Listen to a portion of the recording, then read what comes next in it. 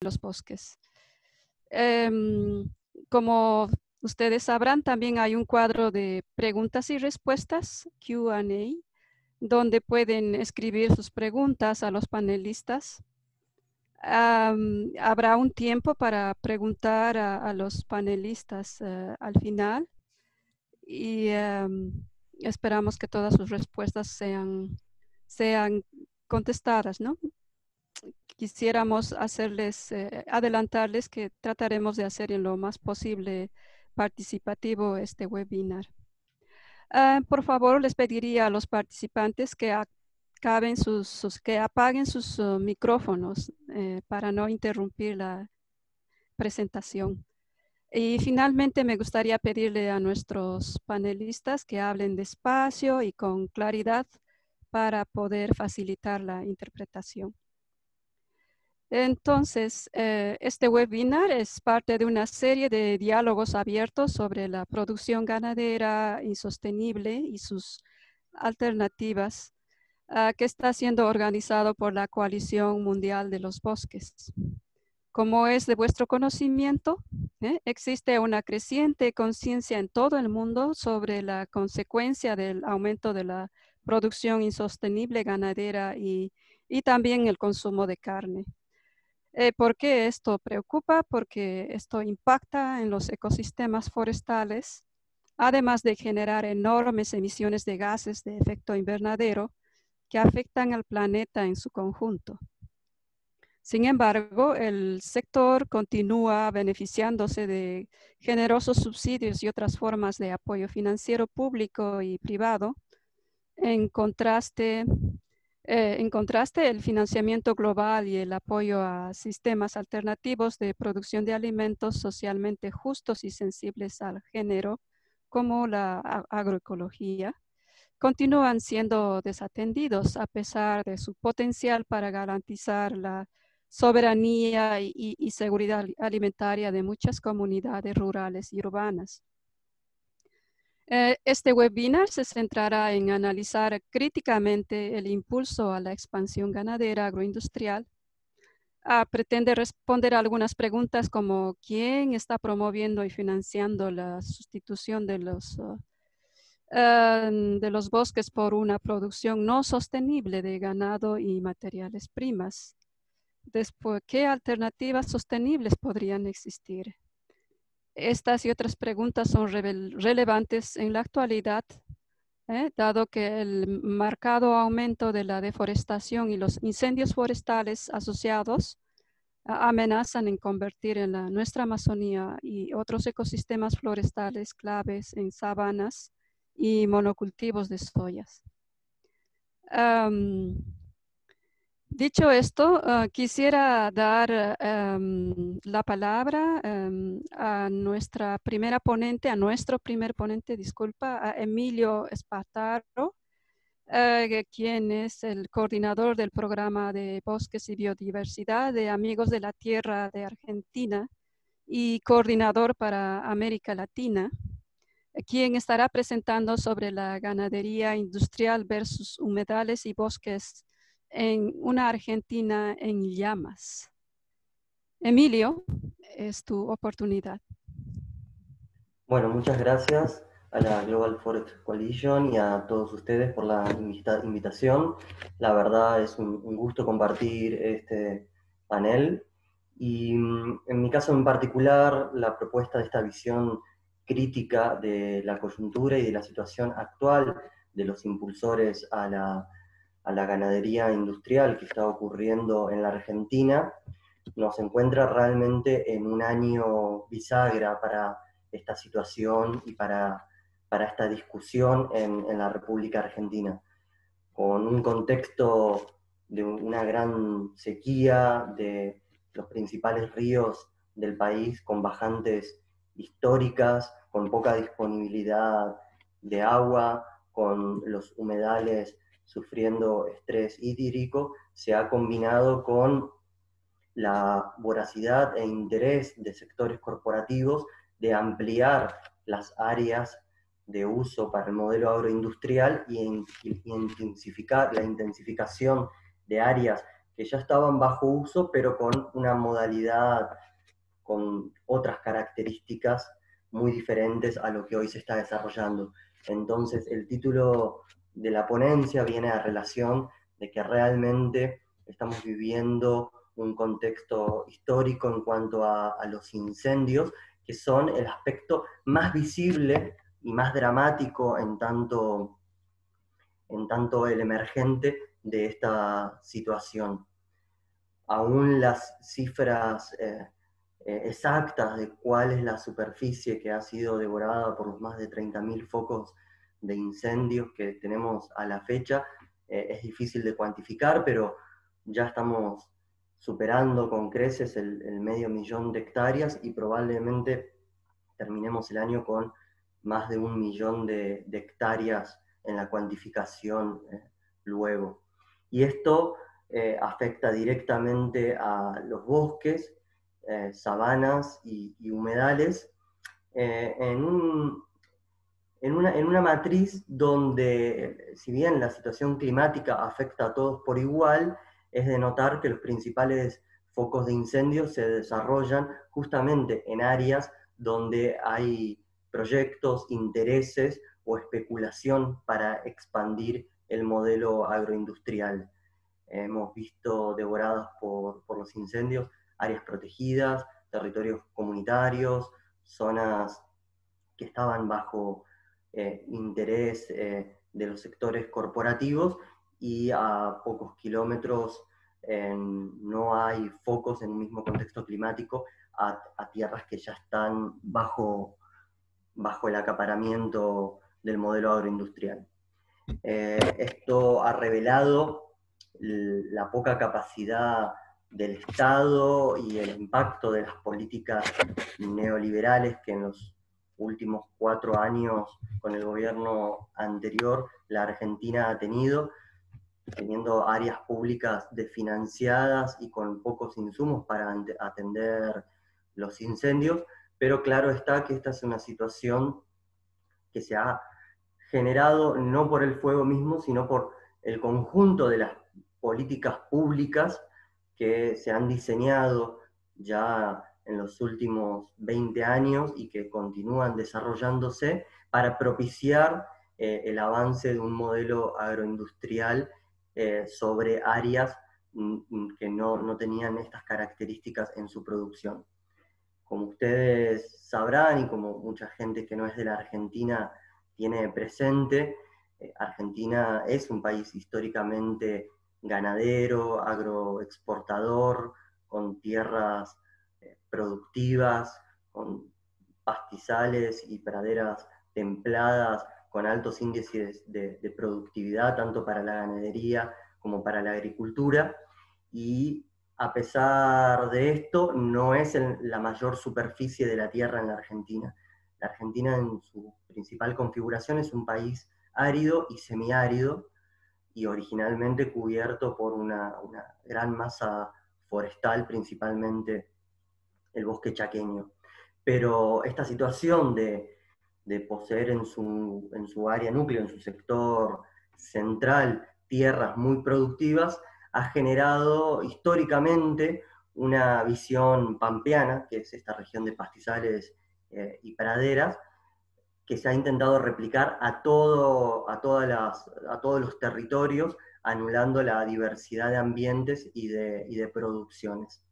Entonces, en los últimos años con la incorporación del paquete tecnológico vinculado a los transgénicos, a los agrotóxicos, a mayor inversión de capital en sistematización de la tierra, la región pampeana se ha intensificado en los commodities como la soja, trigo eh, y maíz principalmente, y ha desplazado a la ganadería hacia eh, otras zonas no, con tanta vocación ganadera, zonas que no son pastizales. También se ha intentado replicar este sistema pampeano reemplazando bosques por monocultivo de soja. Pero hoy el, principal impulsor de la destrucción de los bosques chaqueños, de la transformación de, bosques por, los desmontes, por la deforestación, es la, es la ganadería, ¿sí? por este desplazamiento de las zonas donde antes había rotación agricultura-ganadería, se intensifica en agricultura intensiva, se desplaza la ganadería sobre bosques.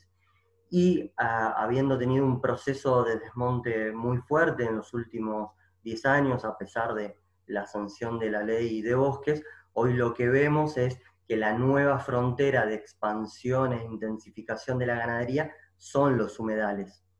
En su sector este, donde vive la mayor parte de la población de la Argentina, en el sistema de humedales Paraná-Paraguay, eh, todavía eh, perviven humedales que son de dominio público en muchísimos casos, áreas muy grandes con baja, eh, bajo nivel de impacto, por supuesto, con ocupación humana, pero diversificada, con pescadores artesanales, apicultores, pequeños ganaderos, eh, artesanos, eh, pequeños agricultores, en, una diversidad cultural propia de la diversidad ambiental que, tienen los, los humedales del sistema Paraná-Paraguay.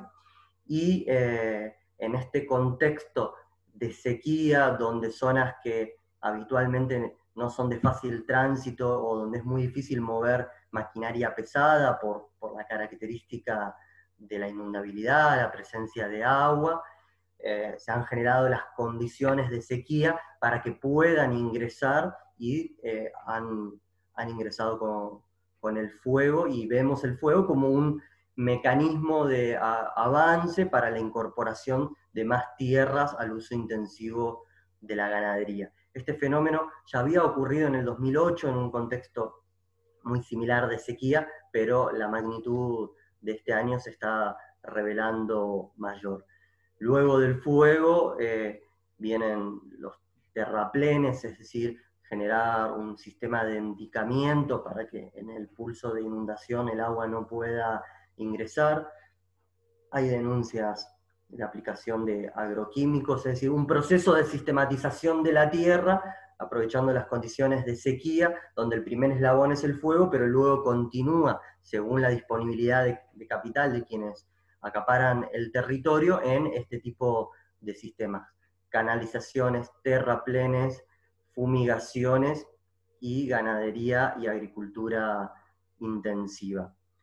Em, en este marco, la mayoría de la población encerrada en sus casas por la cuarentena eh, que se vive en la Argentina y como en distintas partes del mundo, se generó el doble impacto de el encierro generado por una pandemia de origen zoonótico con eh, intoxicaciones por los humos en ciudades grandes de la Argentina como la ciudad de Rosario. Esto movilizó a la ciudadanía y una de las demandas fuertes que ha generado la ciudadanía ante este contexto es una ley de protección de los humedales, que la Argentina hasta el momento no cuenta y hasta el momento no existe una política pública nacional de protección de humedales y de reconocimiento jurídico a escala federal de los servicios ecosistémicos, el valor intrínseco que tienen eh, los, los humedales. Esto generó que haya más de 15 proyectos legislativos en el Congreso Nacional, en ambas cámaras, en la Cámara de Diputados, en, el en la Cámara de Senadores, de todos los bloques políticos, eh, pidiendo una ley de humedales. Entonces, eh, aparentemente íbamos a tener una ley de humedales, pero las entidades, eh, las cámaras empresariales, los, las entidades que reúnen a las corporaciones del agronegocio, han salido con posicionamientos muy fuertes en contra de la sanción de la ley de humedales. Entonces, aquí eh, no hay eh, dobles interpretaciones o el posicionamiento de quienes impulsan la destrucción de los humedales para acapararlos para uso ganaderos y agrícolas, pero principalmente ganaderos en esta etapa, no se desarrolla a través de áreas cooptadas por el Estado, sino que directamente son las mismas entidades empresariales, las, más fuertes del país, Sociedad Rural, CRA, CONIAGRO, Federación Agraria Argentina, las que dicen, una ley de humedales en la Argentina es contraria al desarrollo, al crecimiento y a los argumentos que habitualmente desarrollan eh, desde, desde el agronegocio.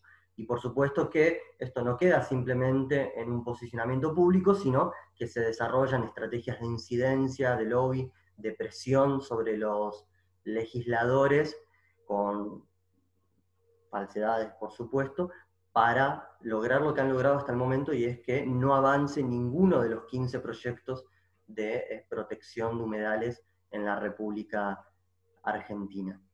Eh, luego, lo, que es evidente también es cómo las áreas cooptadas en el Estado por este sector generan argumentos y posicionamientos que acompañan los intereses de, de las entidades del agronegocio. Y a pesar de toda la evidencia científica, la movilización ciudadana, la visibilización de los impactos y el contexto de pobreza que, estructural que tiene la Argentina, más allá de la pandemia, eh, pobreza estructural que se relaciona a la concentración económica y a la configuración del territorio y de los intereses que tiene la Argentina, el Estado Nacional sigue generando, sigue tomando las posturas de, estas entidades con las cuales aparece en peleas políticas, pero que a la hora de diseñar estrategias, planes y proyectos de ocupación del territorio y de, y de desarrollo, vuelve a tomar la misma argumentación de profundizar la producción con objetivos como las 200 millones de toneladas eh, de aumento en, la producción, aumento de producción de las cabezas ganaderas, acuerdo con China para traer fábricas eh, de cerdos, eh, es decir, que se sigue desde el Estado promocionando este modelo y los, y los aportes públicos se traslucen en obras públicas, que son formas de subsidios encubiertos para seguir con, con este modelo, aún tiene la seguridad jurídica, el apoyo del Estado y el aporte de buena parte de los escasos recursos estatales de todos los argentinos para seguir impulsando un modelo de producción que no garantiza crecimiento para eh, la población argentina y sí enriquecimiento de las entidades del agronegocio. Emilio, gracias. Tu tiempo terminó. Ah, muchas gracias por tan interesante presentación. El proceso como en, en, Argentina se ha ido desplazando la agricultura tradicional o la ganadería tradicional por la agricultura o ganadería intensiva. Ah, quisiéramos dar ahora mm, paso a Miguel Lovera, que hará la presentación sobre subsidios y perversidad para una ganadería destructiva. Eh, Miguel es coordinador general de la iniciativa Amatocodie e integrante de Genoy. Eh, Miguel, bienvenido. Tienes 10 minutos para hacer tu presentación. Gracias. Bueno, muchísimas gracias. Buenos días. Gracias, Juana. Buenos días a todos y todas. Eh, nada, le puse ese título porque me parecía sumamente apropiado, porque les voy a hablar de un sistema sumamente perverso que, en el que se basa la actividad productiva y mucho más que eso, ¿no? Eh, la actividad productiva rural y sobre todo el, dominio eh, territorial, el dominio político eh, en una estructura prácticamente feudal, intacta desde, desde la época de la conquista en un país como Paraguay. Todos somos, creo que en, la, en la conformación del auditorio parece que hay, hay todos latinoamericanos, todos y todas somos latinoamericanos y conocemos qué es Paraguay, dónde está Paraguay, que es un paísito chico, es el segundo, tercero en tamaño eh, eh, más pequeño eh, de, América del Sur. Y la siguiente, perdón, está están los slides. Ahí está, perfecto. El, segundo slide sería este. Nuestro, les voy a hablar de ganadería y de superversión, ¿no? En el, en el contexto económico y sociopolítico paraguayo, muy resumidamente. En, en 1545 empieza la aventura ganadera con la llegada a Asunción de un toro y siete vacas. Ese es el, hecho fundacional de la ganadería en, en Paraguay. Y ese hato ahora tiene entre 14 y 15 millones de cabezas, eh, básicamente dos y fracción de cabezas por habitante humano del, del Paraguay. El sexto exportador mundial de, carne. Siguiente, por favor. Eh, bueno, ¿y cómo, cómo, se logró esto? Y por un hecho, eh, un hecho sumamente, mucho más ligado a, la, eh, a, la, a, las costumbres y, y a, la, a, la, convivencia eh, y a la dominación social en Paraguay. ¿no? Eh, la, para ser gente, se dice por acá, y en muchos de sus países también me imagino que habrá sido así, espero que ya no. Eh, para ser gente había que tener una estancia, una estancia es un, una hacienda ganadera. Entonces, eh, el Partido Colorado que dominó la política paraguaya y controló la política paraguaya eh por 162 años de, de, los 209 años de, de independencia del país, eh, entonces repartió esas, gran parte de esas tierras eh, a, su clientela. Eh, las consecuencias son que el 90% de la superficie del país, más o menos, un poquito más, un poquito menos, está privatizada. El 80% de la tierra, más o menos, está en manos del 2% aproximadamente también de la población. Siguiente. Eh, ahí hay más, más, eh, más pistas de cómo se logró eso, a través de subsidios, incentivos, o mejor dicho, privilegios. eso, esos subsidios y esos incentivos se, han convertido, o mejor dicho, nunca han dejado de ser privilegios. Eh, por ejemplo, un salario que le da la población al, a la actividad ganadera oligárquica de esos terratenientes que veíamos, nuevos y viejos, es eh, por, a través del salario. El salario normal está más o menos en 364 dólares por mes. Puse todo al dólar porque parece que es la, la lengua franca acá, entre nosotros, lamentablemente. Y el salario en los establecimientos ganaderos oscila entre, el ciento, entre 129 y 178 dólares al mes. ¿Eh? Y ahí están a, los pobrecitos que tienen hasta 4.000 cabezas de ganado, les, cobra, les obligan a pagar solamente eh, 129 dólares eh, mensuales a sus peones y eh, como sueldo mínimo y que, que, básicamente es el sueldo único en este país, eso podemos hablar después, y eh, a los que tienen más de 4.000 cabezas eh, les cobran, les, obligan a pagar 178 dólares al mes. Bueno, eso es más regalo y más robo, ¿verdad? Así, así se consolidó esta situación. Adelante. Siguiente, bueno, y más, eh, más incentivos Ahí tenemos, por ejemplo, el tema de los impuestos, el impuesto a la renta de la actividad agropecuaria, que se llama IRAGRO, que básicamente yo suelo eh, bromear con que la I es eh, imaginario, es un impuesto muy imaginario porque hay muchísima evasión. Se, la Secretaría de Tributación, el viceministerio de, Tributación cree que entre el 75 y el 80% de de las empresas agropecuarias evaden al impuesto y no es gran cosa lo que se recauda, por lo tanto, es eh, 61 millones de dólares, 2,8% de la recaudación total eh, de impuestos en el país. Eso ya incluye también el IVA agropecuario.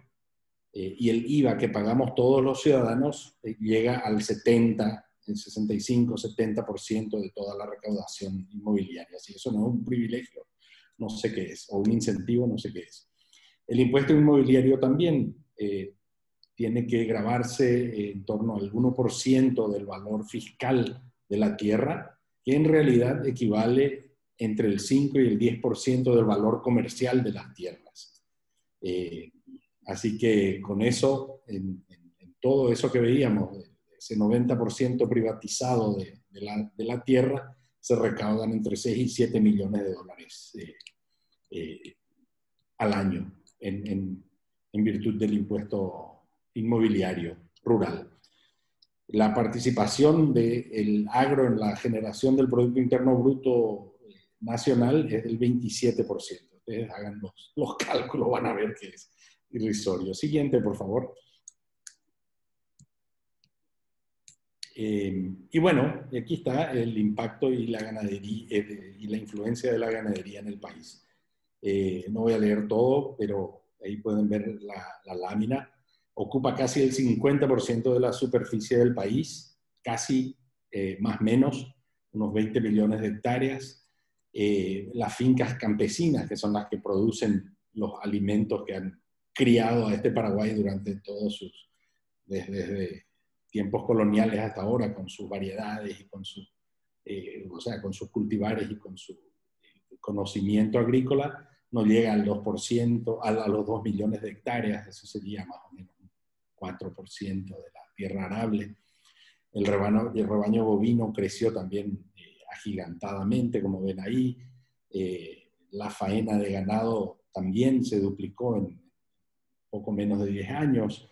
Eh, la faena para la exportación pasó del 87% en el 2007 a 99%, casi a todo lo que se produce eh, en el 2016 para la exportación. Em, somos el sexto, el, gran mérito de ser el sexto eh, exportador mundial de carne. se llena la boca el gobierno cada vez que se refiere a esto.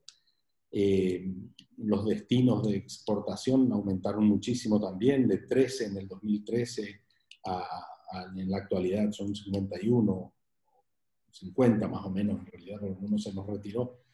Siguiente, por favor. Y bueno, y esta es la, la situación más alarmante, ¿no?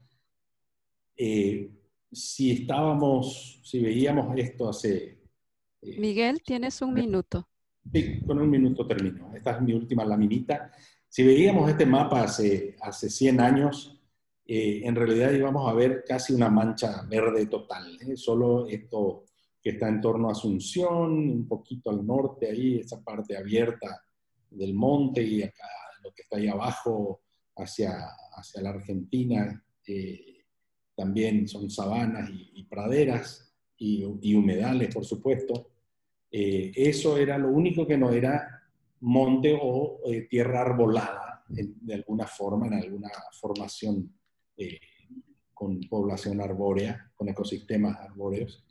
Eh, y este es el, proceso que tenemos ahora. En la región oriental, básicamente, no quedan bosques que reúnan los atributos de ser un bosque, eh, sino que está totalmente fragmentado. Y el Chaco, es la parte que está al oeste y al noroeste del, del río Paraguay, va, corre esa, va por esa misma senda eh, y calculamos que, eh, a ver un poquito, para el, para el año 2025, eh, 2030 va a quedar todo también fragmentado y desfuncionalizado como, como bosques, hablando en términos de, funcionalidad ecológica, y van a quedar solamente las áreas protegidas y los manchones que vemos también en la región oriental y ya vemos también en, en el Chaco. Esa es la principal consecuencia. Y recordando siempre que eso es eh, eh, hábitat de pueblos indígenas, eh, inclusive hábitat de pueblos indígenas que viven en aislamiento voluntario, sobre todo en el norte del Chaco. Bueno, muchísimas gracias por el tiempo y estoy atento a las preguntas que tengan en el futuro. Gracias. Ah, muchas gracias, Miguel, por tan excelente presentación y realmente es alarmante las, cifras que has mostrado. Bueno, después eh, discutiremos un poco más al respecto y por favor no olviden de eh, anotar sus preguntas en el chat de Q y A, por favor. vayan anotando sus preguntas para cada panelista.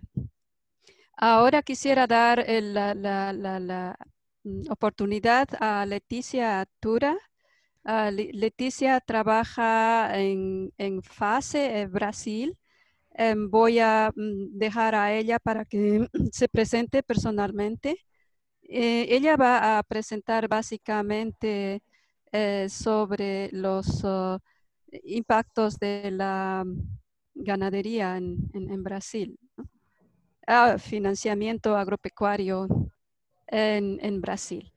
Eh, espero que también mm, la traducción está en este momento lista para Patricia, que lo va a hacer en, portugués.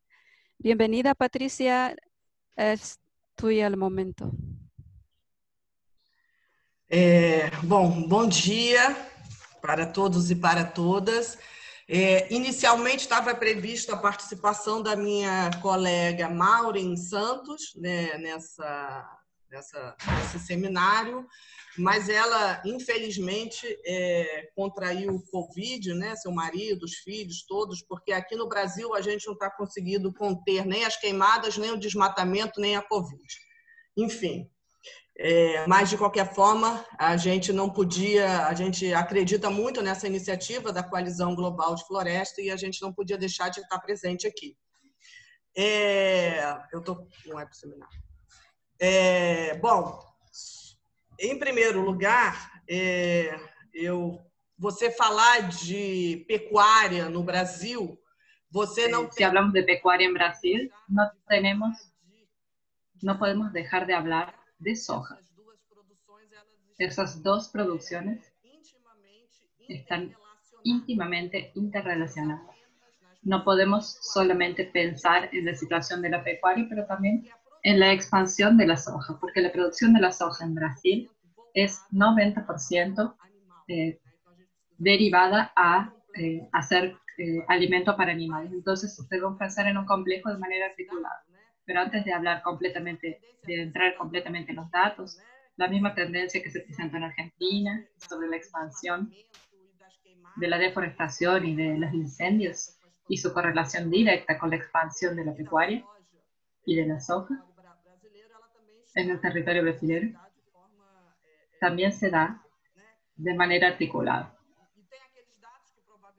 Y están esos datos también que ustedes ya conocen sobre el crecimiento de la deforestación en Brasil. Entonces, el último periodo de 2018 y 2019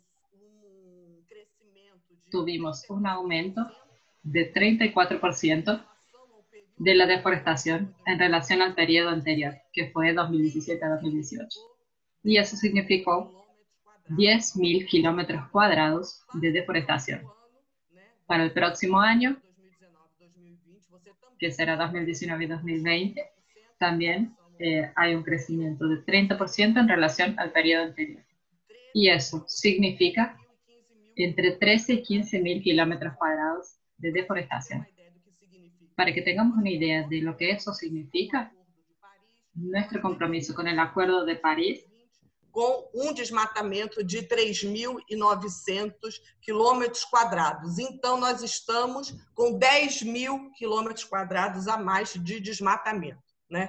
Bom, e esse, obviamente, que esses dados eles se aceleram, já vem crescendo desde 2013, mas eles se aceleram a partir de 2018, fundamentalmente com a entrada do Jair, Jair Bolsonaro na presidência. Desde a entrada de Jair Bolsonaro a la presidencia de Brasil. Y la misma tendencia se da en relación a los incendios. Este año ya perdimos un tercio del pantano brasileño. Eh, para no perder mi tiempo solo con eso, rápidamente, la soja en Brasil y la ganadería. Juntas dominan prácticamente un tercio del territorio del país, siendo que de los 64 millones de hectáreas cultivadas para los diferentes cultivos, arroz, poroto, mandioca, que es la base de nuestra alimentación,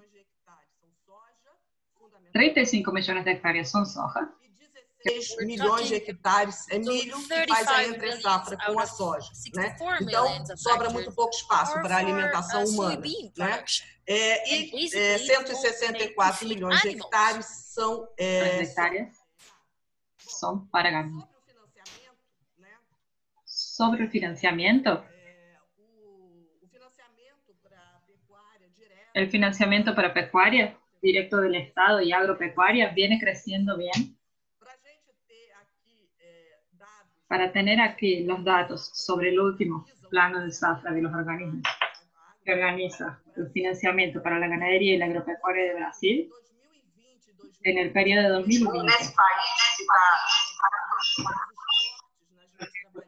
todos os cortes na previdência, Eh, nós temos Leticia, Un momentito, están pidiendo de que... Ahora se escucha mejor. Esperar, parece que hay problemas para la traducción. Eh, del- del- entonces, un momentito nada más hasta que... Tá bom, Tô- vou tentar falar mais devagar. Hola, Sol, intérprete en español. ¿Se escucha mejor ahora?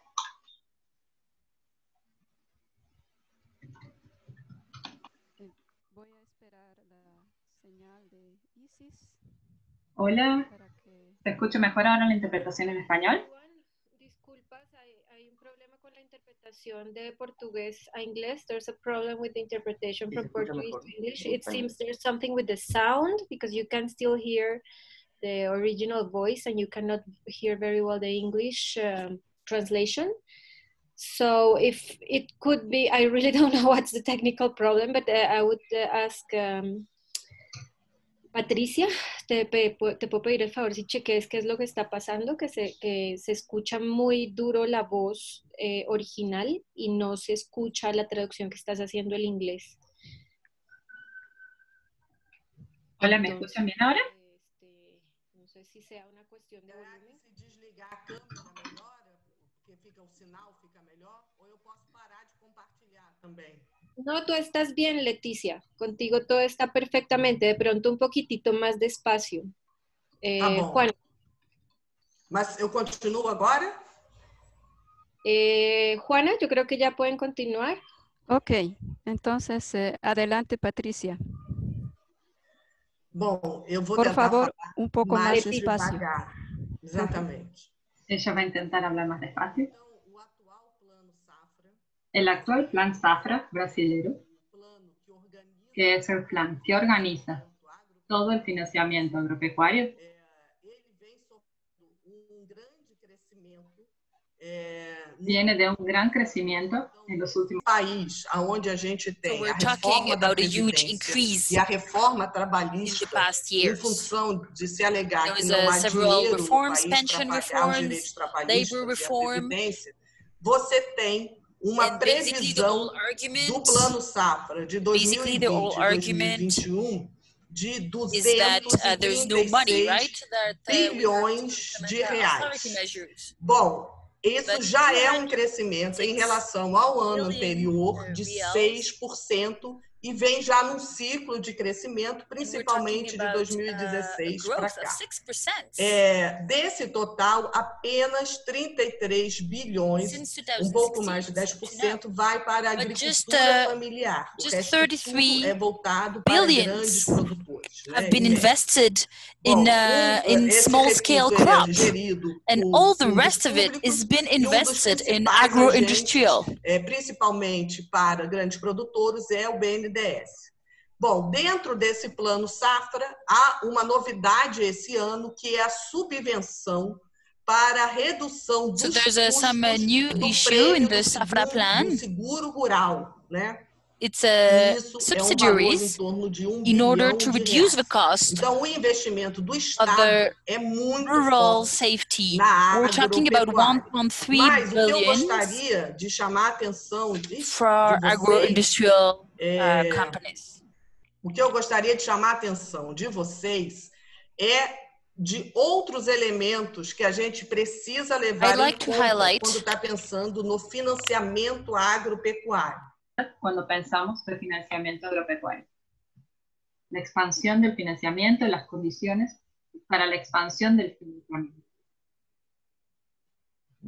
Uno, el crecimiento de la inversión privada generada en función de la reducción de los dos juros e da estrondosa desvalorização do real. intereses y de la estruendosa desvalorización del real. Eso también es financiamiento indirecto o directo.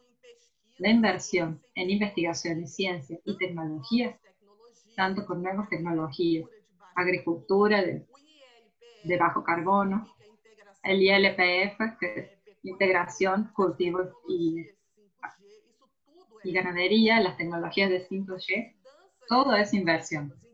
No Brasil, além do ministro da Agricultura está passando a boiada sobre o regulamento ambiental, o agronegócio também está passando a boiada dele. Então, você tem mudanças legislativas favoráveis ao mercado de capitais. Isso é uma coisa que precisa estar bastante legislative atento, que é a criação de fundos garantidores e de cédulas imobiliárias é, rural. Isso é uma lei de 19, de- desse ano, de abril, né? junto uh, com o desregulamento ambiental, toda a destruição das leis ambientais, você tem a construção de leis para a- o mercado de capitais e, e, uh, é, implemented in da pecuária. 2020. O crescimento do financiamento verde, isso é também outra coisa que precisa estar na nossa discussão, os green uh, bonds. É, é, no Brasil, né, o mercado that de carbono.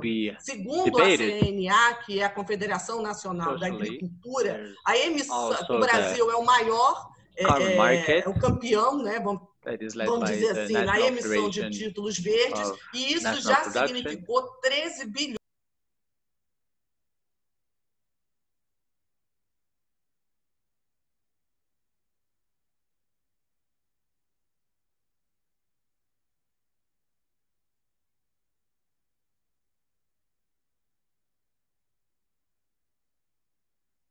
é, internacionais. Né? con los acuerdos the y- internacionales y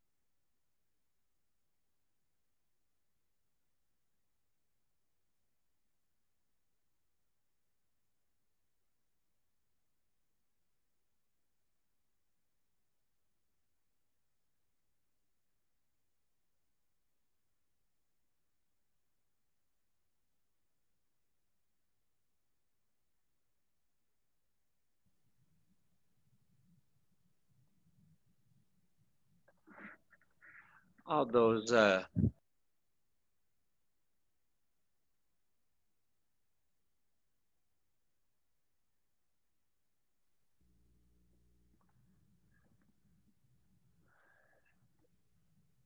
uh, this has been the only um, result also at the level of uh, mining production.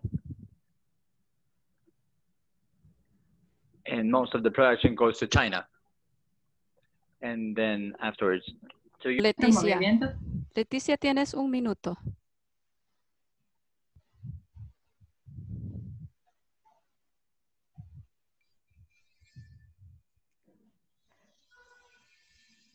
Ok, Então, é, essa nossa estratégia toda, ela dialoga muito mais so this strategy dialogado más con Europa y tal vez con Estados Unidos. Entonces vemos un crecimiento de la crítica de los consumidores de Europa. Pero por otro lado, vemos un crecimiento del mercado chino. El mercado chino ha impulsado toda la expansión del agronegocio en nuestro país. Entonces, ese es un elemento que tenemos que tener en cuenta en nuestra estrategia. Otro elemento que tenemos que tener en cuenta en nuestra estrategia es el Tratado Mercosur-Unión Europea, que no va a toda América Latina, pero que tiene un efecto multiplicador, contaminado por la ciudad. Un elemento muy preocupante dentro de este tratado es que no exige límites para áreas plantadas y amplía eh, los límites, cuánto es que lo que se puede comercializar a Europa. Y en el caso de la ganadería, eso puede llevar a 99 mil toneladas, que representarían un aumento del 50% de todo el volumen que hoy es comercializado con Europa. Y por otro lado, reducir y elimina las barreras. Uh, it goes hand in hand with the reduction and elimination of tariff barriers. Finally, the other issue is uh, the investment funds. That's an issue that we need to discuss a little deeper. The impact of those que una pérdida de febrero abril de 2020 de 11, por, 11 billones en acciones en títulos públicos en Brasil. Entonces son elementos, creo yo, que más allá del mercado consumidor europeo y americano, son elementos que necesitan estar presentes en la estrategia. Para cerrar, que sé que mi tiempo se acabó, vemos por todas las charlas que han dado de Argentina, de Paraguay, que el agronegocio tiene una estrategia común que tiene que ser enfrentado y que tiene impactos comunes en nuestro territorio. Y necesitamos estudiar bien las estrategias de ellos para construir nuestras propias estrategias. Es eso, gracias.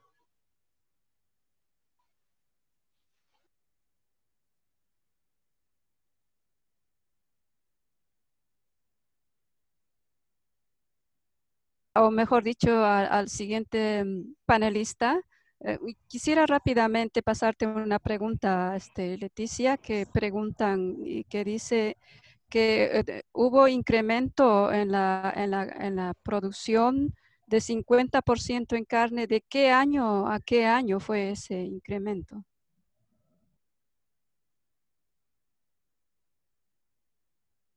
Lo que yo dije es lo siguiente, que ese incremento es previsto por el tratado, por el acuerdo Unión Europea y Mercosur.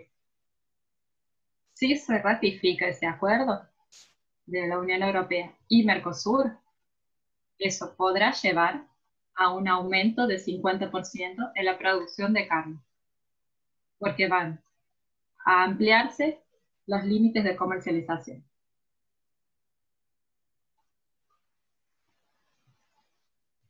Todavía no, y espero que no lo sea.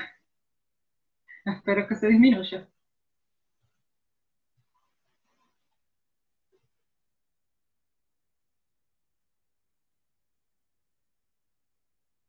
Lista era Rosa Karina Pinazo de la Asociación Amazónica por la Amazonía, AMPA, ah, y ella tenía que presentar la ganadería y su impacto en la Amazonía andina del Perú Lamentablemente eh, se ha presentado un problema en, el Internet cuando parece que hay una tormenta en este momento en el lugar donde ella se encuentra y le es imposible este, conectarse. Entonces vamos a pedir disculpas por, el, por el caso, pero vamos a incluir en la grabación eh, su presentación que va, nos hará llegar su presentación y entonces ustedes se enterarán sobre la presentación de eh, Rosa Karina. Entonces, inmediatamente quisiera darle el paso a Juan Carlos Altamirano de CIPCA Bolivia.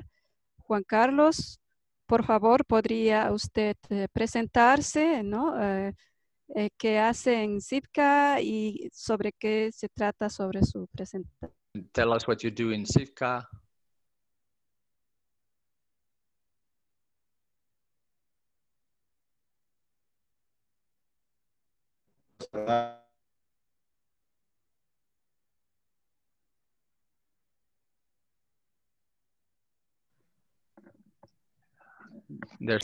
Centro de Investigación del Campesinado, eh, aquí en la región del Chaco, Bolivia, eh, bueno, eh, mi presentación eh, la comparto.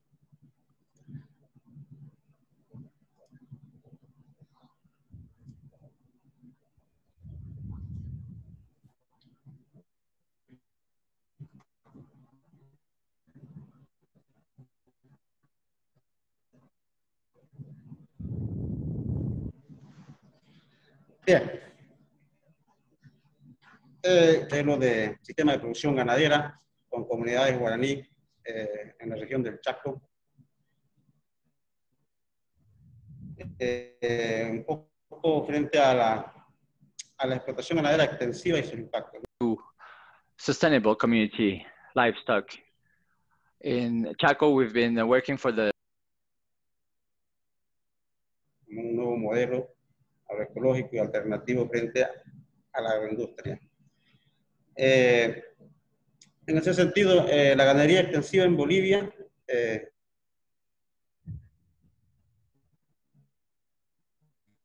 en el año 2013 ha registrado más o menos unos 8.300, 8 millones 300 eh, eh, en la región de Chaco está representado por un 11%, ¿no? 11.57%. Eh, el sistema de explotación ganadera eh, aquí en la región, en un 90% ganadera, eh, prácticamente eh, no contempla un manejo adecuado, un manejo eh, ra- racional, un uso adecuado de los recursos eh, naturales, monte, suelo y agua. Ya es un sistema que su impacto tiene que ver mucho con el tema de la deforestación, la degradación de los suelos, eh, las emisiones de, de- de gases de efecto invernadero, ¿no es cierto? Y que todo esto, eh, estos impactos... Entonces, eh, frente a esta situación, eh, como institución y la, y la- y la experiencia que tenemos aquí en Bolivia, en el Chaco específicamente, eh, es eh, cuál es la alternativa, que se lo quiero presentar ahora, la alternativa que estamos desarrollando, estamos poniendo en práctica para poder eh, contrarrestar estos impactos. En ese sentido, la, la ganadería comunitaria sostenible eh, eh, es ganadería comunitaria porque trabajamos con comunidades y la ganadería a nivel comunal. Ustedes pueden observar en la imagen también. Ese es un, un modelo en una comunidad que se llama Huirenda. Eh, este sistema es, es, es, eh, es uno de los componentes de la propuesta económica de CIPCA. Eh, CIPCA considera una propuesta económica con cinco componentes, una de ellas es la ganadería comunitaria sostenible. Este modelo de producción eh, considera la incorporación y aplicación de prácticas y técnicas, tecnologías, eh, con enfoque agroecológico, obviamente, que nos permite eh, la sostenibilidad, obviamente, del mismo sistema, ¿no? Que considera el manejo, el manejo del monte, el manejo de la ganadería, el manejo del agua para la ganadería, las y los productores que implementan estos sistemas, eh, estos modelos alternativos de producción ganadera. El manejo de monte, eh, el monte, el monte diferido, eh, tenemos un ya también se hace siembra de sistema eh, siembra de company en el sistema secopastoril ya elaboramos eh, se está elaborando eh, heno conservación de forraje ya ensilaje también porque en el Chaco sabemos que es bastante seco ahí temporada bastante seca y entonces para asegurar la alimentación tenemos que conservar el forraje producido en épocas de lluvia. En el tema de agua eh, eh, las comunidades eh, eh, cosecha de agua mediante atajado y también geomembrana, ya para eh, garantizar eh, el líquido del alimento en la- las épocas de mayor escasez. Sostenible, incorpora prácticas de rotación de pasturas,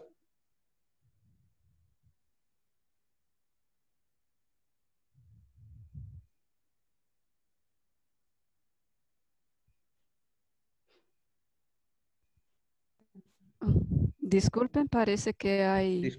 Disculpa. La-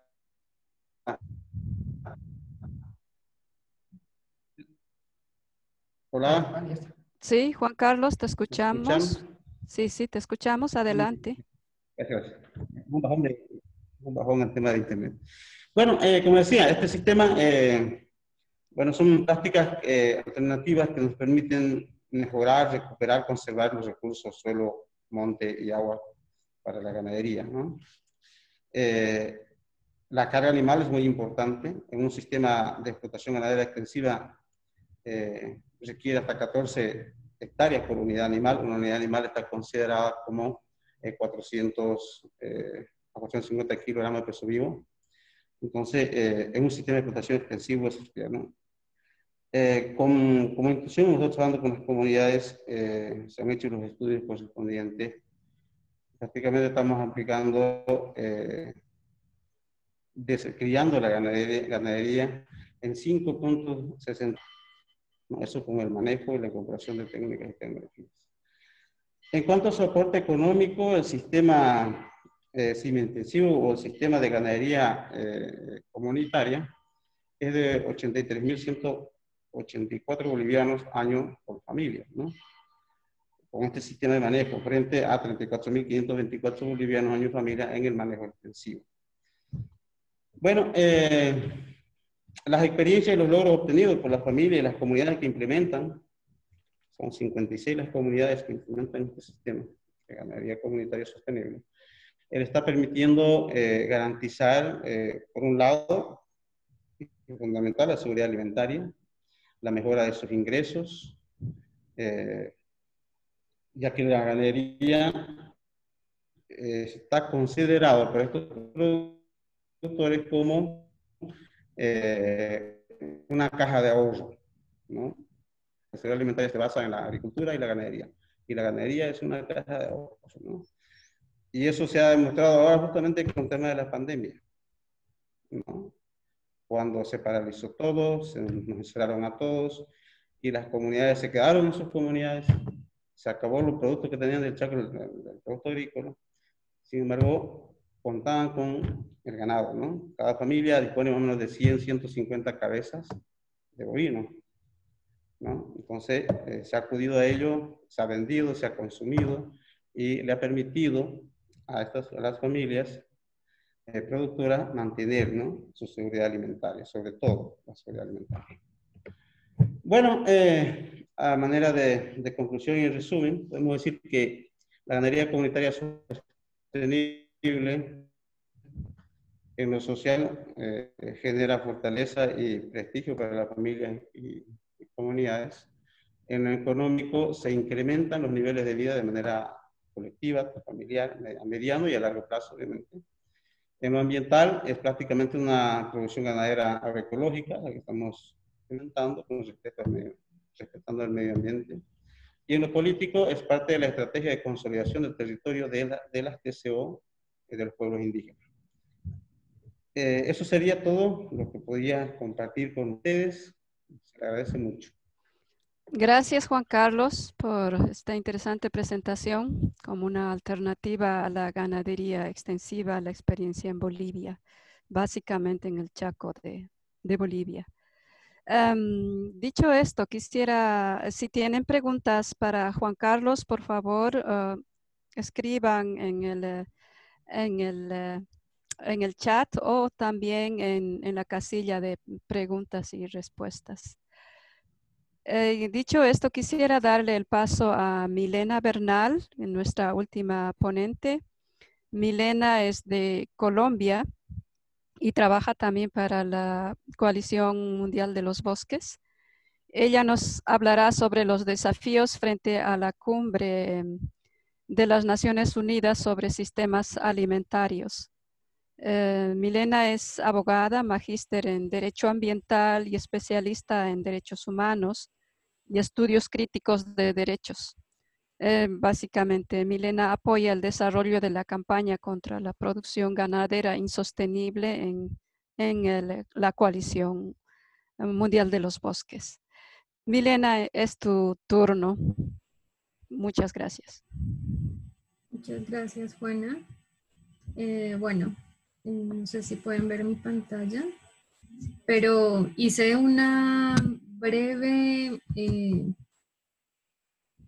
presentación, representación de lo que está ocurriendo con relación a la cumbre sobre sistemas alimentarios.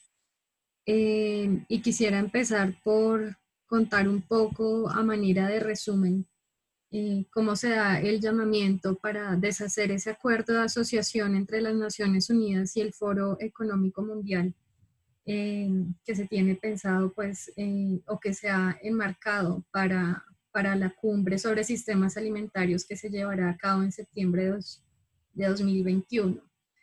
Em, pues quisiera empezar recordando que en 2013 el Consejo de la FAO aprobó la estrategia de asociación con sociedad civil, eh, pues lo consideró como crucial en la lucha contra la erradicación completa del hambre en el mundo, pues dando ese salto no solo desde la lucha contra la reducción del hambre, sino contra su total erradicación. Desde, desde 2013 en adelante se han creado varias iniciativas interesantes que se han venido trabajando eh, con organizaciones de la sociedad civil, con pueblos, eh, con grupos representativos de pueblos indígenas, mujeres y otras comunidades, eh, con el fin de, de, trabajar de manera conjunta para, pues, para el logro de los objetivos que, que se tienen planteados desde, pues desde la FAO, pero también como en el marco de los Objetivos de Desarrollo Sostenible. En anteriores cumbres mundiales sobre la alimentación que estaban ancladas a la FAO, eh, se crearon iniciativas que eran inclusivas, participativas, que apuntaban a realizar el derecho a una alimentación adecuada para todos, pero este legado como se expresa en, en, una de las, digamos, de las cartas que ya ha sido eh, firmada por más de 500 organizaciones a nivel mundial, lo que ocurre es que este legado se pone en riesgo desde que se crea en junio de 2019 ese acuerdo de asociación estratégica entre el Foro Económico Mundial y la ONU. El hecho de que el secretario general de la ONU haya hecho la invitación de alguna manera respaldada por el Foro Económico Mundial lo que hace es poner en riesgo, ¿no? Eh, cómo, se ha visto el trabajo que con tanto esfuerzo durante tantos años ha intentado promover la sociedad civil en términos de coordinación de, entre objetivos para, para, lograr un mismo, pues un mismo objetivo. Entonces, pues bueno, ustedes saben, el foro, el foro económico mundial reúne líderes empresariales, políticos, académicos, que discuten los problemas más urgentes a nivel global, pero este, este acuerdo de asociación entre Naciones Unidas y, el, y el foro empieza a generar como ruido sobre la integridad del sistema, sobre mm, qué es lo que va a ocurrir eh, cuando, cuando se discutan pues, temas tan cruciales eh, en torno, en torno al, al problema de, pues, de la hambruna a nivel mundial. Y más ruido empieza a generar porque en, en, este, digamos, en este marco, se nombra a la presidenta de la Alianza para una Revolución Verde en África como enviada especial para esta cumbre. Entonces, de alguna forma empieza a generarse un conflicto de intereses con relación al propósito que se ha declarado eh, para esta cumbre, puesto que se ya anteriormente diferentes organizaciones han advertido que, que la Alianza para la Revolución Verde en África que se conoce como AGRA. Es una alianza que promueve los intereses de la agroindustria, que es justamente lo que está generando graves impactos socioambientales y económicos pues, en el mundo, como ya lo hemos venido escuchando. Eh, bueno, y frente a esto, lo que ocurre es que en 2019 más de 500 organizaciones enviaron una carta, pidieron la terminación del acuerdo de asociación estratégica entre la ONU y el foro pues por considerar lo que estaba en contravía contra la misma Carta de las Naciones Unidas y todas las decisiones que se han venido tomando en, en, el marco del desarrollo sostenible, erradicación de la pobreza, la emergencia climática y, y, temas relacionados. Entonces, eh, digamos que teniendo en cuenta que la FAO ha adoptado políticas claras de, colaboración con sociedad civil, con pueblos indígenas, con pequeños agricultores y productores de alimentos, em, pues también se resalta, ¿no? Que en, justamente en diciembre de 2019 se declararon 10 elementos para la agroecología que fueron aprobados por ese mismo Consejo de la FAO, pero que empiezan a, jugar o bueno, de alguna forma a verse amenazados por lo que implica eh, la participación del Foro Económico Mundial en, en la cumbre. Entonces, el hecho de que el foro esté organizando la cumbre pone como en una balanza de privilegios el hecho también de que las empresas transnacionales empezarían a tener un, acceso preferencial al sistema de las Naciones Unidas, lo que obviamente genera de alguna forma una imagen que, frente a los ciudadanos, pues, eh, digamos, deslegitima un poco eh, lo que ya se viene trabajando. ¿Y por qué, es tan importante, digamos, porque genera tanto ruido el, hecho de que una empresa transnacional pues esté en estos espacios, pues precisamente porque son quienes han causado empeorado las crisis sociales, económicas, ambientales y son en gran parte la mayoría de ellos eh, responsables de la destrucción de ecosistemas, apropiación de tierras, eh, vulneración de derechos, eh, pero adicionalmente porque ellos basan su modelo en un proceso de productividad, rendimiento, es algo que se estableció en, la carta que, envió la sociedad civil y, que justamente pues es, una de las alertas que, se, tiene frente a esto. Entonces, ¿qué pasa? Se hace un llamado urgente para que campesinos, productores a pequeña escala, pueblos indígenas, organizaciones, sean quienes estén en el centro de la cumbre de las Naciones Unidas sobre sistemas alimentarios. ¿Por qué? Pues porque justamente estamos en ese diseño de la agricultura familiar de Naciones Unidas que se declaró, em, que empezó el año pasado, termina en 2028. Y la idea es que justamente sean quienes son más vulnerables a, estos eh, procesos y bueno, a todo lo que está ocurriendo a nivel mundial, que estén en el centro de la discusión y quienes estén en el centro también de, de la toma de, de decisiones políticas. Em, bueno, y, y, algo que también llama la atención es que el Comité de Seguridad Alimentaria de las Naciones Unidas está negociando actualmente directrices sobre los sistemas alimentarios y la nutrición, recomendaciones de políticas sobre ecología, agroecología, que es lo que de alguna manera se busca eh, cubrir en esta cumbre. Y justamente eh, lo, que, lo que ocurre es que el Comité de Seguridad Alimentaria es muy conocido por ser uno de los más inclusivos, participativos, en los que grupos que han sido afectados por el hambre, la malnutrición, tienen un rol principal. Pero obviamente esto ya empieza a, a cambiar un poco de, en el panorama con lo, que, con lo que se viene presentando. Entonces, en conclusión, ¿qué es lo que ocurre? Que se genera un llamamiento. Este llamamiento eh, lo que busca es deshacer el acuerdo de asociación entre las Naciones Unidas, el, el Foro Económico Mundial, replantear la organización de la cumbre sobre el sistema alimentario em, para, que, para que ya no, no estén las, las, las corporaciones pues en el centro de la discusión y no sean quienes estén tomando las decisiones en, estos temas tan relevantes.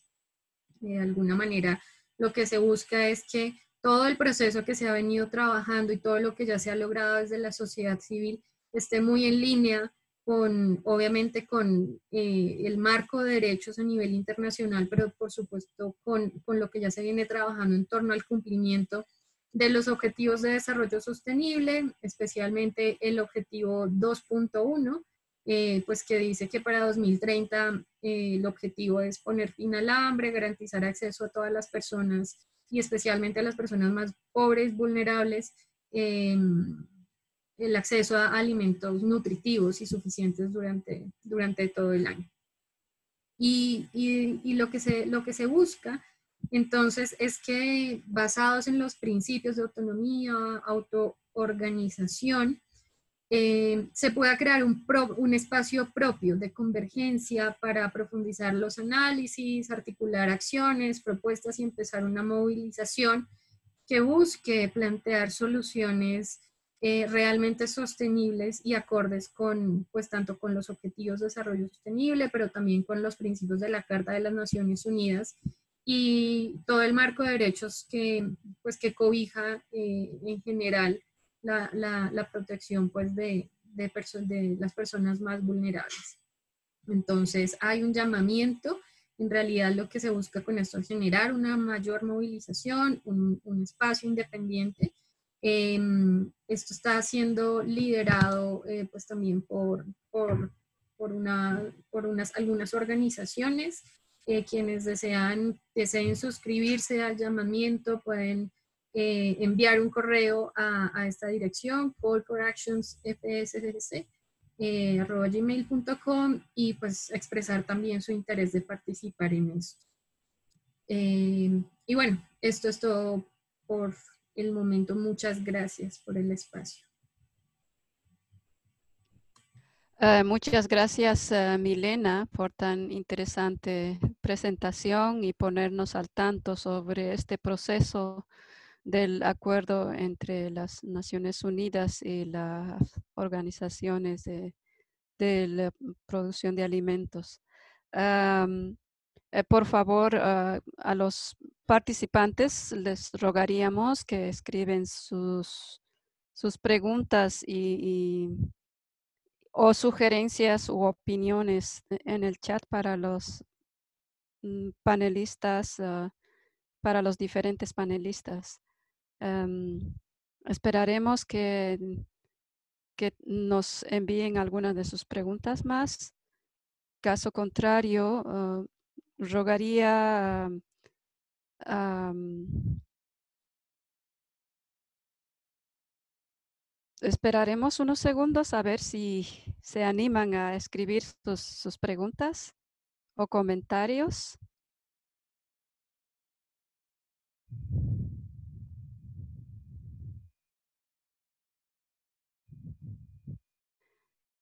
En todo caso, este, yo quisiera, mientras tanto, se animan a escribir las, las, preguntas, quisiera decirles que ponerles de su conocimiento que eh, en la reciente cumbre de biodiversidad de la ONU, varios gobiernos se comprometieron a reorientar los incentivos perversos, ¿no? que justo hoy eh, hicieron muy bien, brillantemente presentaron los diferentes panelistas ¿no? De que estos incentivos perversos que contribuyen a la pérdida de bosques y otros ecosistemas, pero hasta ahora se han tomado pocas medidas en, el sector ganadero agroindustrial.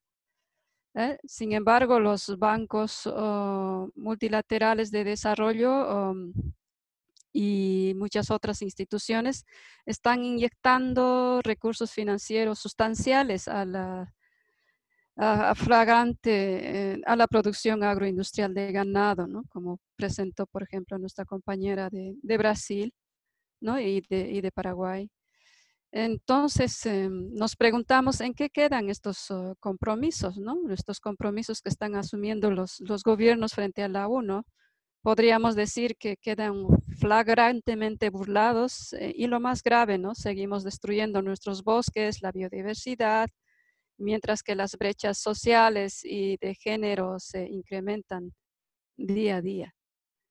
Eso es, eh, eso es uh, lo grave, ¿no? De que por un lado, oh, ¿no? Con una mano derecha uh, estamos tratando de, de, de, apoyar nuevos sistemas alternativos, la transición a nuevos sistemas que se consuman menos menos carne o que se haga una ganadería más sustentable, ¿no?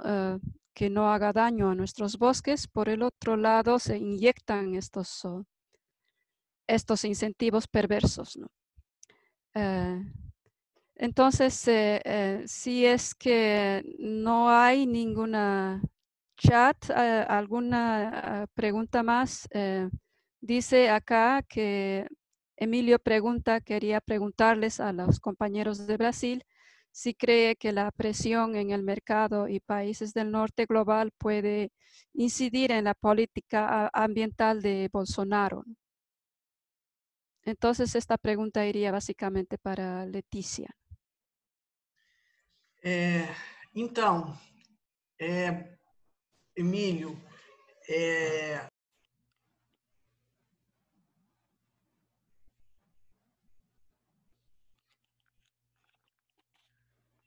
So this was uh, the initial uh, expectation we had that there would be a pressure on the Bolsonaro government. But we we have to say that uh, that Bolsonaro do not react to this kind of pressure. Uh, it's crazy. Like the the environment minister, for example, uh, after a fight he had over with Macron last year, uh, he got into a fight with Merkel. So this is why I presented. Uh, I think we, we, we, we cannot stop to uh, put pressure and to do advocacy, but uh, we cannot have uh, we cannot have too many expectations. I believe um, there's a strategy, you know, with uh, the European Union and the, and the USA, but uh, we have a lack of uh, strategy toward Asia because this is the main market right now. China and Asia is the main market, and it's not so easy to build up a strategy uh, to pressure those government. So, so there's a diff- there's a difference. There's a difference in the in the kind of relationship there. So nowadays, who is investing? So who is investing are the United States and the European Union. But the consumers or, are the market is in Asia. But we should uh, build a strategy um, toward uh, the investors. Thank you so much for that uh, answer. There's another question from the public. Is there any way to to work with agro-industrial companies, not against them? Is there some examples of good practices uh, from agro-industrials? So I think this question is for everyone. Is there a way to work with uh, agro-industrial uh, companies? Is there good examples? So who who wanna who who wanna start? Uh, I'll try. Uh, this is a complex question. separar en, en tres aspectos. Uno es sobre, sobre la producción misma, es decir, si hablamos de ganadería, por supuesto, hay, hay, hay formas de desarrollar de- sustentablemente la ganadería, de hecho el compañero de Bolivia ha hecho una presentación en ese sentido y tenemos muchísimos ejemplos en, Latinoamérica de, de prácticas tradicionales y prácticas que tienen criterios de sustentabilidad en cuanto a la producción de carne.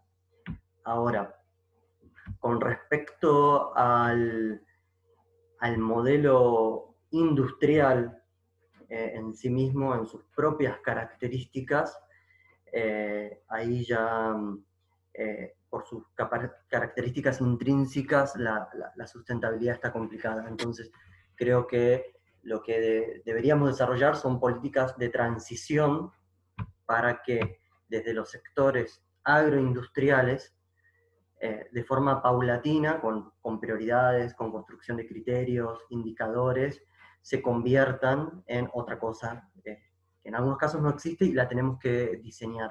Y allí es donde deberían ir los subsidios, los aportes del Estado y las políticas públicas. Creo que hoy la, la prioridad es en frenar este tren que va hacia el precipicio y tratar de redirigirlo hacia, hacia, otra, hacia otra dirección. Y el tercer punto que dejo como peligro es que tenemos muy malas experiencias de, eh, por mecanismos de financiamiento internacional en pocos años, querer mostrar cosas positivas que luego se transforman simplemente en greenwashing. Entonces, bueno, eso es, muy complejo, pero quería mencionar esos tres elementos.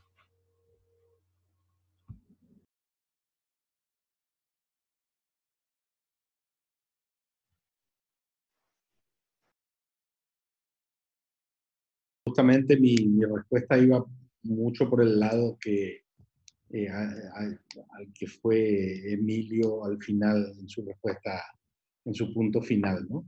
Eh, eh, si, si vemos eh, el predominio de, del, del, modelo en todos nuestros países, sencillamente lo realista sería reconocer que cualquier cosa, cualquier cosa que se haga sin intenciones o sin una verdadera equiparación de los esfuerzos, del gasto, de las inversiones eh, y un redireccionamiento de los, de los privilegios, subsidios, eh, incentivos, eh, va a terminar en, en el, el, lavado, en la pintura verde nada más, ¿no? eso es para mí totalmente categórico. El, el sistema no prevé en ningún momento de manera seria eh, un cambio.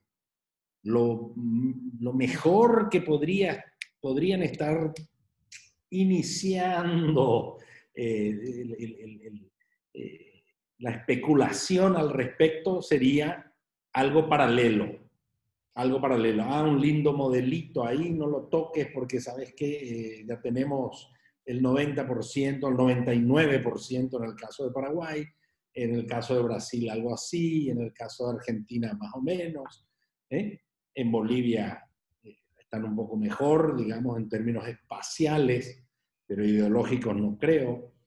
Eh, entonces, bueno, vamos a, tomándonos en serio la, la, pregunta, yo creo que la respuesta es es justamente esa, ¿no? No, ¿no? va a pasar nada con esta política y con estos políticos. Habrá que obligarlos de alguna otra forma y eh, la única forma que, que veo que, vaya a tener sentido nuestra acción es eh, si se boicotea el consumo, pero seriamente, si se consigue que los países consumidores se consigue llegar a la mayoría de los consumidores, de países consumidores, empresas consumidores, empresas compradoras, clientes de este modelo, eh, y el consumidor final a poner un límite, eh, a hacer, eh, ¿cómo se llama esto?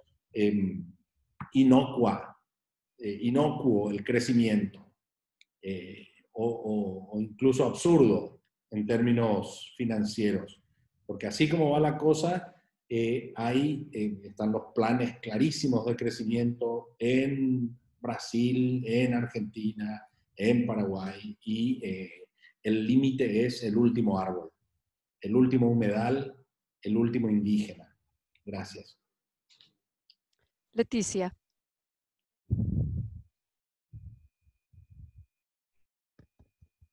Leticia, no se te escucha.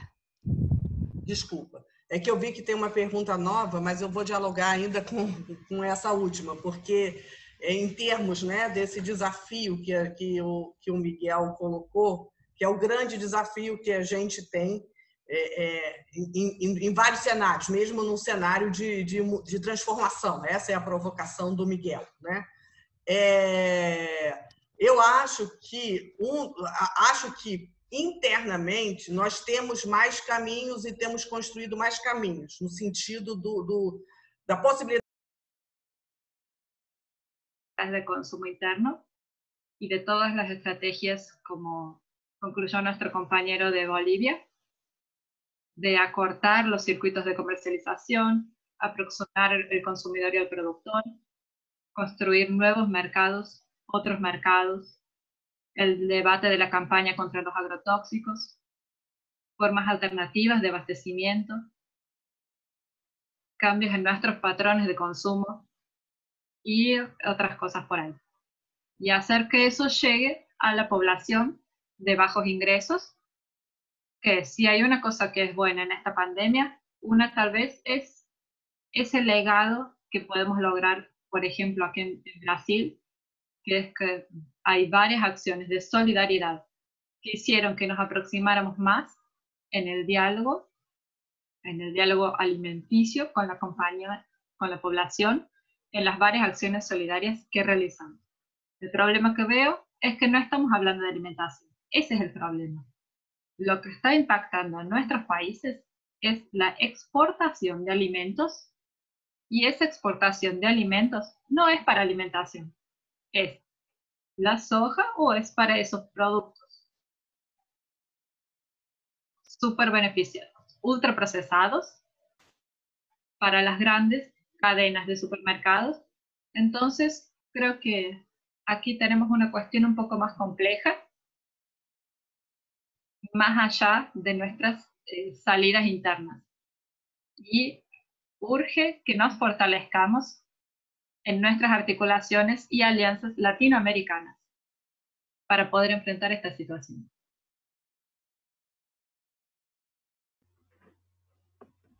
Algunas opiniones más de conclusión. Hay una pregunta que quisiéramos uh, hacer también aquí a, a los panelistas y básicamente dicen qué planes están avanzando para exponer los acuerdos financieros entre empresas y estados. Eh, la transparencia para ver y regular las eh, transacciones bancarias podría exponer los acuerdos y mostrar por qué los estados no responden a la presión de los estados competidores que creen que eventualmente pueden poseer un, estados y corporaciones. Entonces, em, ah, ¿saben algo de esto? Ah, ¿Sobre algunos planes que están avanzando ah, al respecto? Ahí, ¿no? Y la transparencia para regular las transacciones bancarias. Milena, tal vez tienes alguna, alguna opinión al respecto o, alguno de ustedes. Bueno, lo que, lo que sé que está ocurriendo es que em, ha empezado una serie, digamos, de investigación más en detalle sobre el, rol que juega justamente las corporaciones financieras internacionales, los bancos de desarrollo. Em, digamos que desde, desde la Coalición Global por los Bosques nosotros estamos justamente liderando una petición a través de Change que busca de alguna manera eh, solicitar al Banco Mundial que deje de promover eh, la inversión hacia, hacia la agroindustria. Pero también existen, claro, muchos, muchos, muchas iniciativas desde sociedad civil que están empezando a investigar eh, justamente con qué propósitos los bancos como por ejemplo el Banco Chino, el Banco Mundial, el Banco incluso el Banco Interamericano de Desarrollo, eh, invierten en, en, agroindustria. Entonces, creo obviamente que esto es un camino largo. Nosotros creo que todos sabemos que estos bancos tienen unas políticas de, de trabajo con sociedad civil bastante restrictivas, que el acceso a la información es uno de los principales problemas que se presenta cuando nosotros queremos saber qué tipo de transacciones impulsan los bancos de desarrollo. Em, y por supuesto es un camino largo que, que, espera, pero, pero no quiere decir esto que pues, la sociedad civil no se esté movilizando. Eh, pues bueno, uno de los ejemplos es justamente esto que, a lo que les invitamos ustedes a, a, a sumarse a la petición en Change. Exactamente, muchas gracias. Entonces, eh, hay, se podría decir que hay esperanza, ¿no? Así se empiezan las grandes revoluciones, los cambios, con una idea por allí de alguien que lanza la idea y bueno, cómo podemos uh, seguir y plantear una propuesta alternativa y ahora ya somos muchos, ya somos muchas plataformas en que estamos detrás de esta propuesta. Y como habrán visto en el chat, hemos puesto un link donde se está tratando de, impulsar esta, estas, ah, este pedido, esta petición al, Banco Mundial. Entonces, si ustedes pueden acceder allá y también em, reenviar a vuestras redes, a vuestros contactos para hacer voz, para hacer también movimiento al respecto. Eh, quisiera invitar finalmente a, Isis para que pueda dar una, conclusión final para este webinar antes de cerrar, porque como les había dicho inicialmente, este webinar es una serie de, em, eh, webinars que se ha desarrollado, eh, que se está desarrollando en este momento, ya se desarrolló en Asia, en África, y ahora lo estamos haciendo en Latinoamérica y probablemente todavía tenemos un webinar más pendiente. Eh, Isis, ¿podrías, eh, por favor, hacernos una conclusión y también anunciar este webinar? Sí, yo le doy brevemente la palabra a Miguel, que tenía la mano levantada. Si quieres decir un último comentario, Miguel. Ah, y también parece que Emilio está todavía pidiendo la palabra. ¿no? Ah, y Juan Carlos. sí, disculpen. brevemente, y construyendo un poquito en lo que, en lo que nos contaba Milena. Eh, lo de la transparencia en estas latitudes, en este hemisferio grandioso y que está tomando un cariz global, es simplemente el, el reparto de placebos. Eh, cada vez que pedimos transparencia, eh, pedimos claridad, pedimos eh, todo lo necesario, el fin al secretismo, al privilegio de, de, hacer las cosas de manera subrepticia que tienen las empresas y los capitales transnacionales, sobre todo privados, recibimos algún tipo de eh, placebo, ¿eh? nos, dejan ver que hay unas hojas en alguna carpeta, eh, eso es algo, algo que nos hace sentir, que nos hace seguir tirando ideas y, evitando que tiremos otra cosa en vez de ideas. eso por un lado. Y por otro lado, reaccionan también con legislación mucho más restrictiva sobre nuestras propias organizaciones o incluso eh, a nivel individual. Nos imponen las leyes que deberían imponerles de transparencia y de, ¿cómo se llama esto?, de, rendiciones de cuentas, eh, rendiciones impositivas, etcétera, etcétera, a las instituciones que trabajamos con los pueblos, que trabajamos con las comunidades, y buscamos la sustentabilidad, eh, eh, a nosotros nos ponen las, las incumplibles casi eh, regulaciones, leyes, y, no sé qué otra cosa, normas. Eso nada más. Pero, pero que no se acabe la esperanza. Emilio, ¿querías?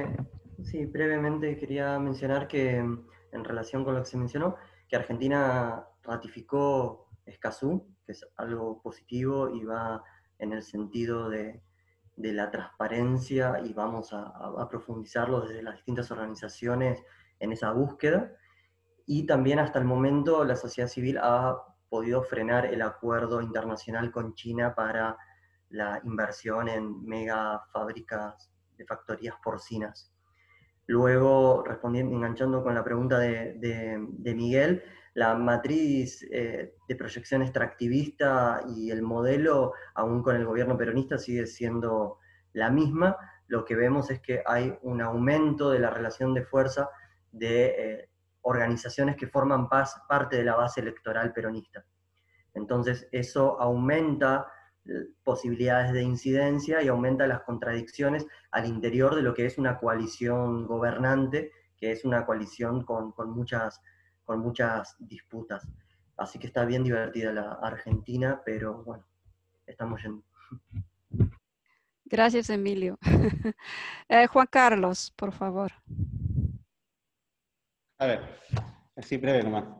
Eh, ¿Y qué tiene que ver con, el, con la banca, ¿no? El banco y los créditos. La verdad que ese es un tema también, quizás se relaciona con lo que me han antecedido, y que nuestro gobierno, nuestro país también en políticas eh, donde la banca también sea consciente ¿no? en, estos temas, ¿no? Eh, cuando se dan los créditos eh, a los pequeños productores, a los medianos y grandes productores. ¿no? actualmente el banco lo único que le importa son los recursos económicos y punto, digamos, ¿no? No le interesa el cuidado del medio ambiente,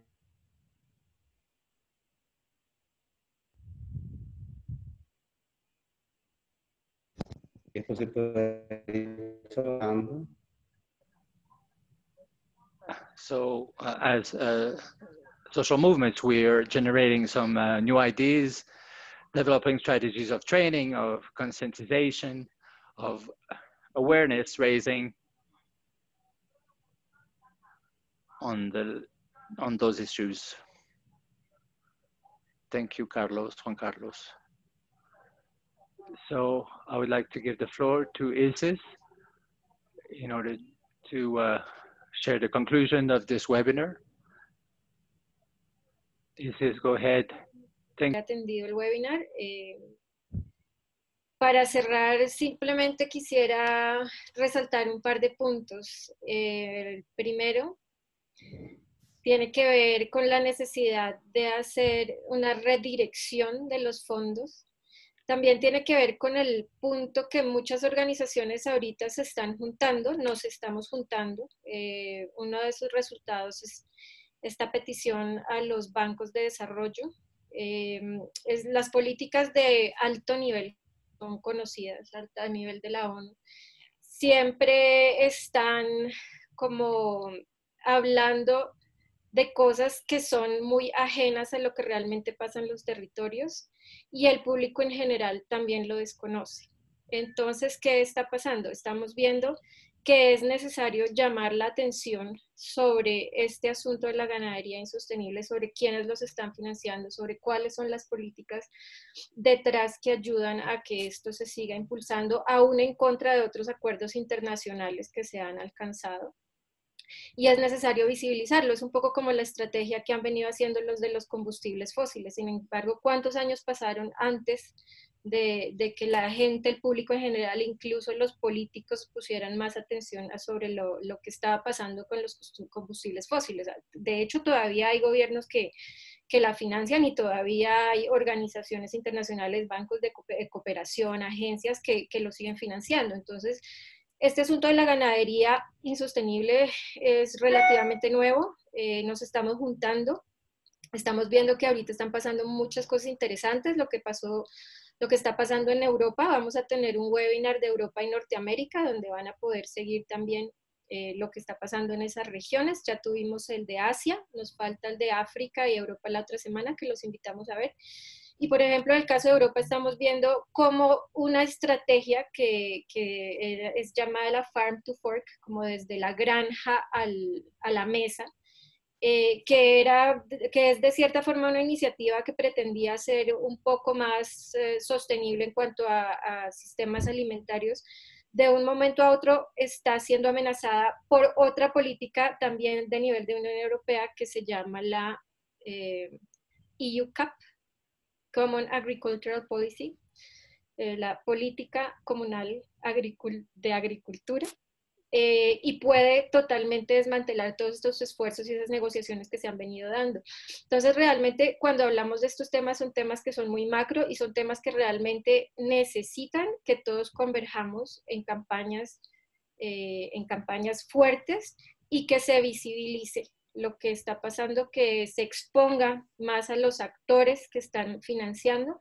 Por ejemplo, una, una lección es que para esta serie de webinars nos ha sido bastante difícil encontrar grupos que realmente hagan ese tipo de investigación. Hay grupos, pero son muy contados. Entonces, eh, bueno, en eso estamos, estamos trabajando.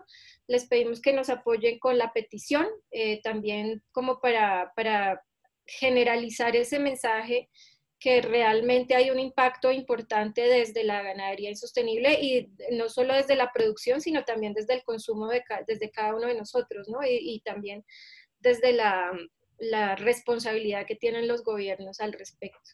Eh, como mencionaba Juana, también a nivel de políticas internacionales como el Convenio en Diversidad Biológica, se fue hace poco cuando se hizo como el reporte, el repaso de lo que pasó en, en los últimos 10 años de, del marco que había para la biodiversidad, la conservación de la biodiversidad a nivel mundial, se dieron cuenta que uno de, los, de las metas de Aichi más importantes, que era precisamente el de eliminar los, eh, los incentivos perversos, subsidios perversos, fue uno de los que menos se cumplió. Entonces, para, esta, para estos nuevos 10 años, pienso que, que debe ser uno donde debe haber más enfoque y donde debemos presionar más. Por último, hay alternativas en todas partes del mundo que reciben muy, muy poca financiación y que definitivamente habría que redirigir esos dineros que llegan a, a ser tan dañinos, redirigirlos hacia actividades que son ya demostradas, que han sido tradicionales y que han demostrado por muchos años que pueden convivir en armonía con el medio ambiente. Entonces, muchas gracias a todos por participar y a los traductores, a la moderadora, a los presentadores, presentadoras. Mil gracias. Muchas gracias y les esperamos pronto en los siguientes eh, webinars ¿no? que está en esta serie. Adiós y que tengan mucha suerte, fuerza en la lucha.